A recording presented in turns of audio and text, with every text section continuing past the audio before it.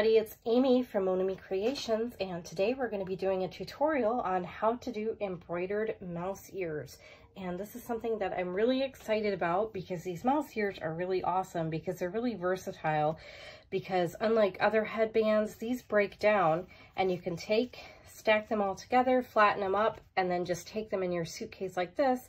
And you only need to bring along one headband to the park.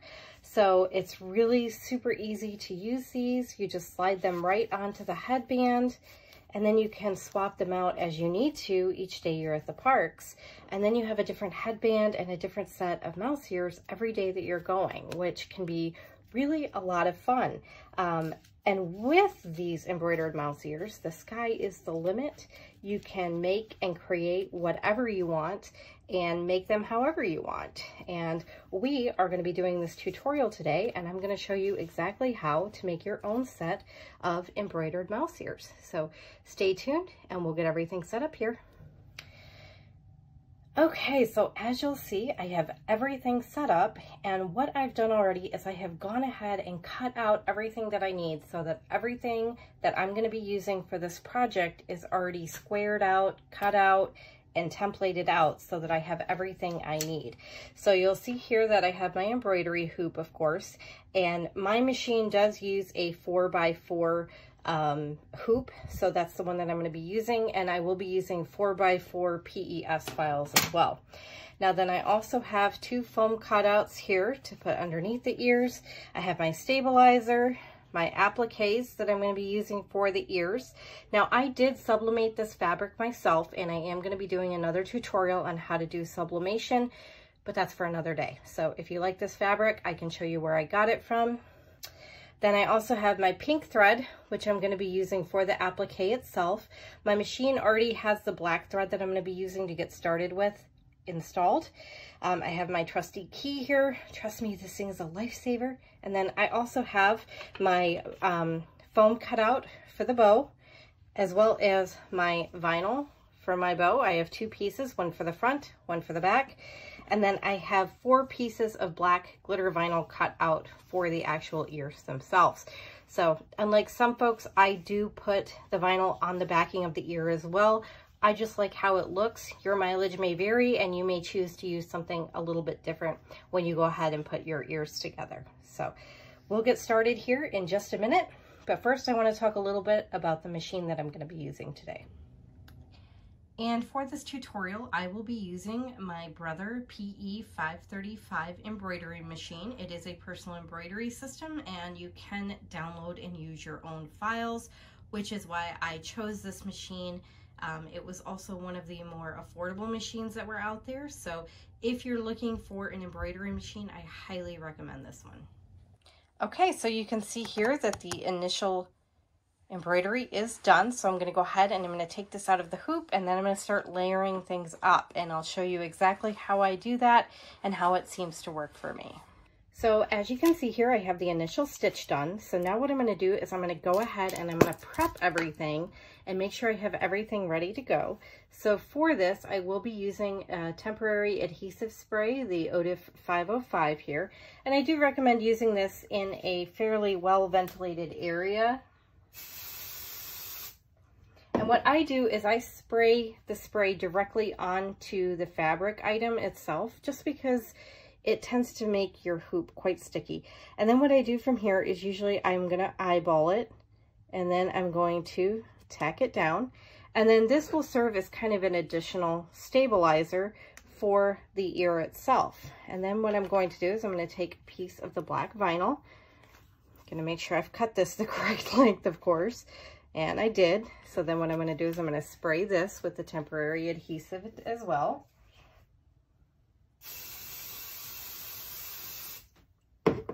And then I'm to go ahead and I'm to tack this down here. I am to press it down and make sure it's on there firmly. And the temporary adhesive really just kind of helps to make sure that it stays on there, that it's not going to be sliding around, and that it really is just going to be more firmly cemented onto the ear itself. So from here, I'm now going to go ahead and I'm going to reattach this back to my embroidery machine, and it's going to do a couple more stitches. And then we'll talk about how to do the applique after this.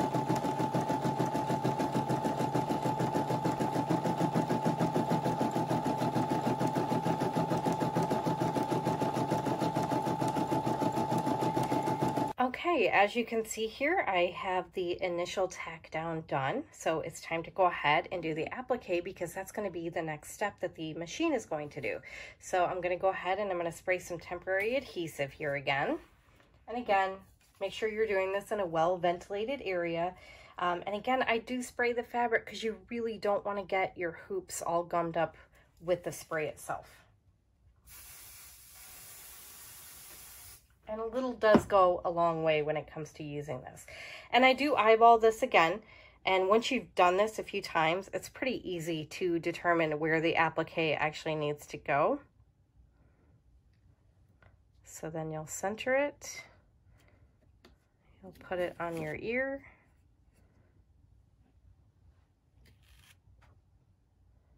Like so. And then you'll want to go ahead and smooth it out as much as you can. And looking at this, I can see that it's fairly even around the edges. I might want to scoot it over just a little bit here though. So, and it's really easy. You just peel it right back up again. And this easy tack does disappear and it does go away relatively quickly. So then you'll just re-tack it down.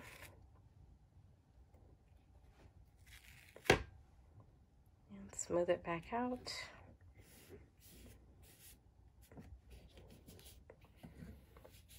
And at this point, you will also want to go ahead and you'll want to change the thread in your machine if you want to have a different color for the embroidery um, along the edges of the applique. So I'm going to go ahead, I'm going to switch out the thread in my machine, and then I'm going to go ahead and do the applique itself.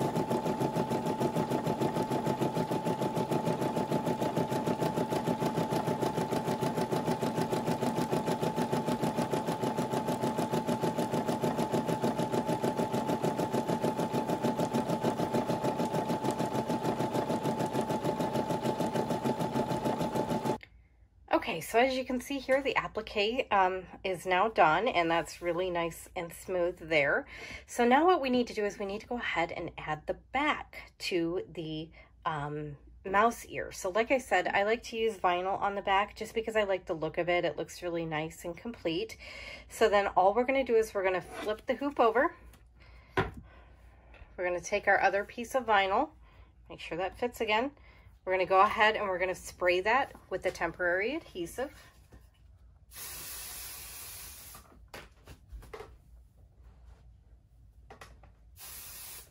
Then we're going to place that down. And again, make sure to just smooth it out. And then what we're going to do is we're going to put it back on the embroidery machine and this will be the last two steps before we take it out of the hoop and we cut it out. So you'll see here that I have gone ahead and I've taken the ear out of the hoop and everything is ready to go. So the next steps are going to be is to cut the ear out. And the things that you want to be really careful um, when you're doing this is to make sure that you leave enough vinyl around the edges. Otherwise, when you're putting the ear onto the headband, it will pop open if it's not given enough room to kind of mold and, and work with. So as you're doing this, you're going to just want to make sure that you're following really closely along the edges. So usually what I do is I just go around the edge really quick here and get rid of all of my excess. And you can do it however you like. It really just depends on what you think you need to do. I like to have the excess cut away so that I know exactly what I'm working with. The other thing you want to make sure is that you have a pair of really sharp scissors. So I use these Fiskars scissors and then I usually sharpen them um, usually in between about every other cut. So that's how often I do it. Again, your mileage may vary. So the vinyl is a little thick And again, you're just gonna kind of wanna use the edge of the outlined stitching as a guide point and don't go too close to the edge.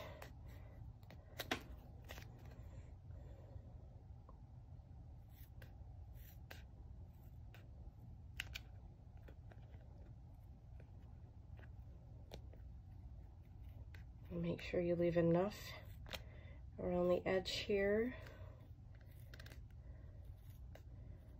And you want to go in nice smooth cutting motions too. You don't want it to look jagged when you're done. That's really important for making sure that it looks nice and neat.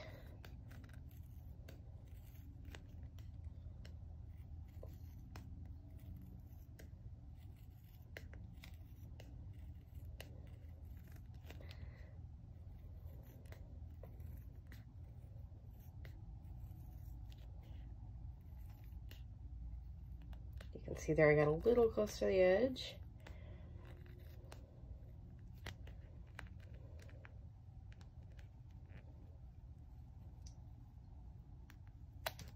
And there. And you have your ear cut out. So I'm gonna go ahead, I'm gonna make the other ear, and then we're gonna go ahead and we're gonna get started on how to make the bow and how to do the placement for the bow within your headband. And then I'll show you how to attach everything at the end. Let's move on now and we'll get the bow done. So as I had mentioned earlier, you wanna make sure that you've got your foam padding cut out. And then of course I've got my two sheets of vinyl that I'm gonna be using for the bow. And I did pick this pretty sparkly silver vinyl to use for this. And I'm going to actually use for this the pink thread that I went ahead and used in the applique for the ears. So I'll be using that for my bow and we'll go ahead and get started with the bow now. So as I did earlier, we're going to go ahead and we're going to select our bow on our machine. I'm going to go ahead and set that. And then it's going to go ahead and it's going to start. I'm going to hit the start button here.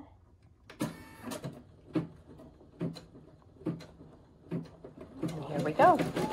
As you'll see here, the initial stitching is done. It is quite light, so I'm going to hold that a little closer to the camera there so you can see.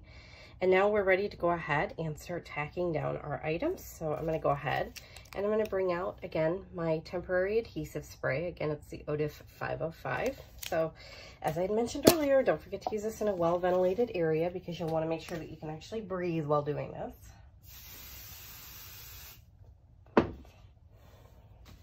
And I do, again, spray it right directly onto the item.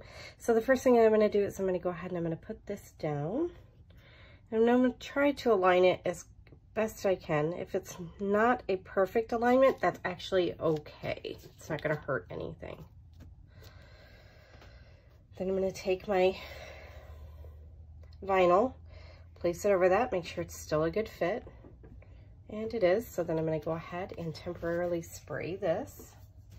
Again, spraying it directly onto the material itself.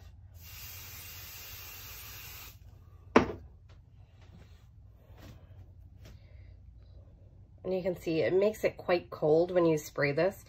So that's why it looks kind of goofy now a little bit. And I'm going to go ahead, place that. And again, you want it to be smoothed out as much as possible.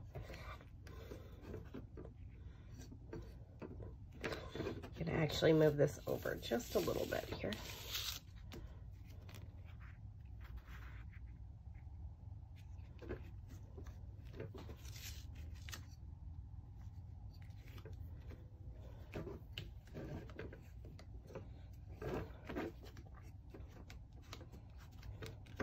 Okay, and now this is ready to go back under the embroidery machine. So you'll see the initial stitching is done and now it's ready to go on to the next steps. So I actually won't be changing my embroidery thread at all. You can see here that you're supposed to do some different colors, but I actually prefer to just leave well enough alone. So what I'm gonna do now is I'm gonna go ahead and let the machine cycle through all of the different stitches next until it comes time to put the backing on the bow, and then we'll talk about how to do that. So here we go. We're gonna go ahead and get started with this again.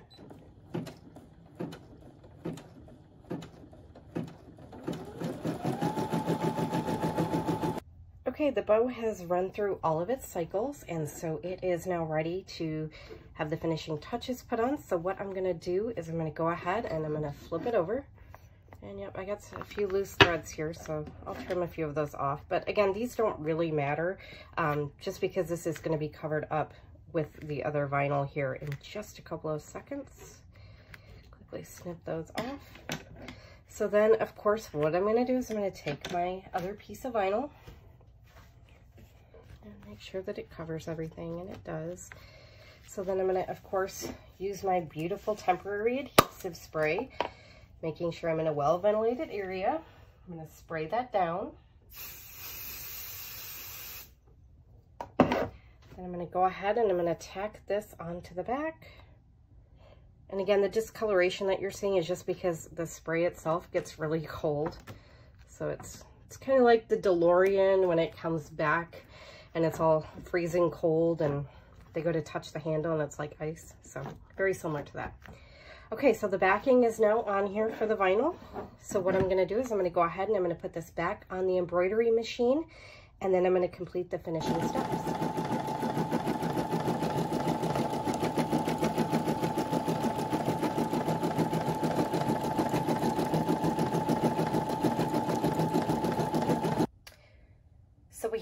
Finished um, mouse bow here. So I'm going to go ahead and just show you what the back looks like. So you'll see some loose threads. And what I'm going to do is I'm just going to snip those really quick here. Get rid of them.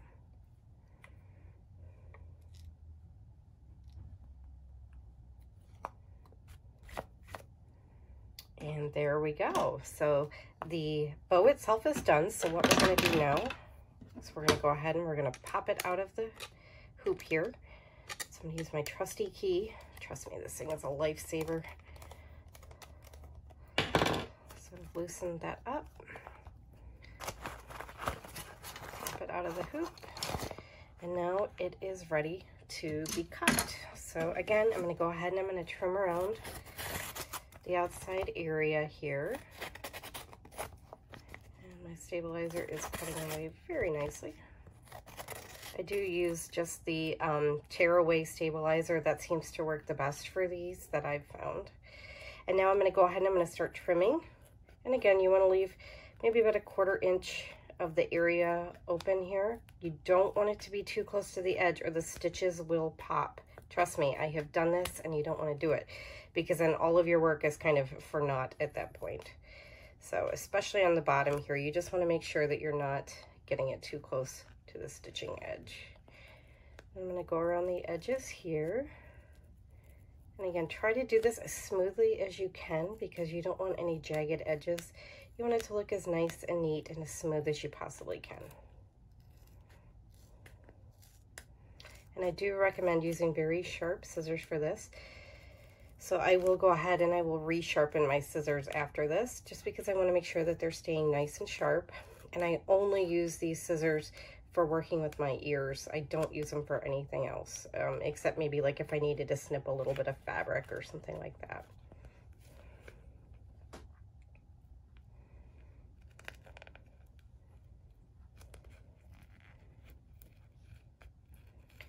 I'll go all the way around the edge here. Just making sure to get everything in, and again, going nice and smooth. And smooth motion tends to do it really well. It also helps to just prevent everything from, you know, looking sloppy. You want everything to look nice and neat.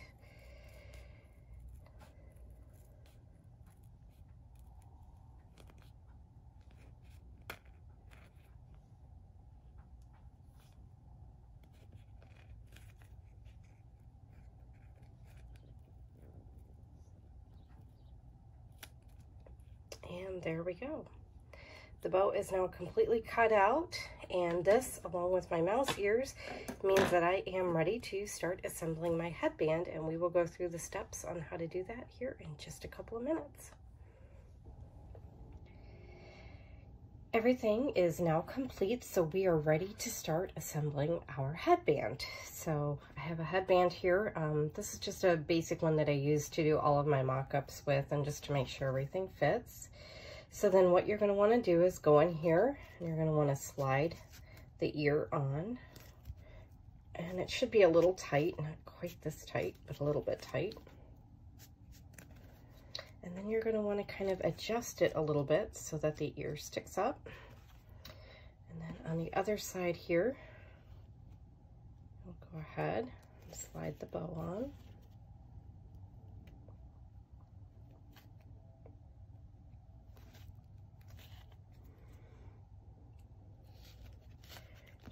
it's not one to go on that other side. So I'll flip it around, slide it on here.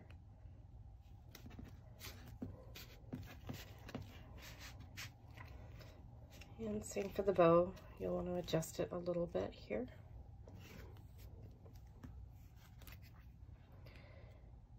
And then our last one, slide this one on, pull it up, adjust it, and then you have your embroidered ear headband. So I thank you very much for watching my video. If you like what you've seen here today, hit like and subscribe and more videos will be forthcoming soon. And hopefully I'll be able to share a few more designs with you that I like and that have been really popular. Have a great day, everybody.